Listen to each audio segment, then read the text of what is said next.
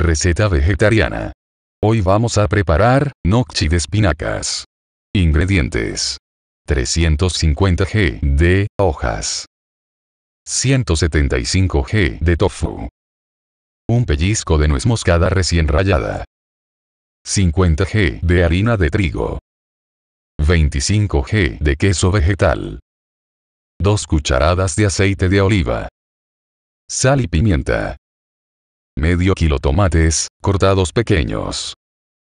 Un diente de ajo machacado. 1 cucharada de albahaca fresca, picada. Un pellizco de azúcar. 100 g de queso vegetal. 2 cucharadas de leche de soja. Tienes la preparación de la receta, en la descripción de este video, junto al enlace de la fuente original. Saludos.